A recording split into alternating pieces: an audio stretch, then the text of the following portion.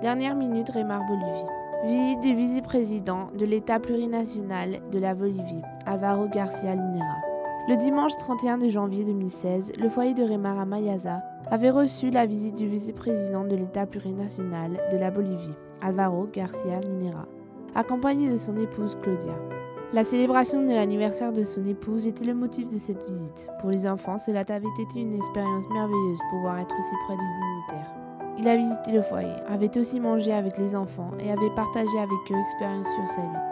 Ces visites comprennent aussi la donation d'aliments, ustensiles de cuisine et équipements électroniques pour les foyers et projets de Rémar. Nous remercions profondément ce geste qui encourage aux enfants à avoir un exemple à continuer et leur fait savoir qu'ils ne sont pas seuls face à la dure situation qu'ils doivent vivre.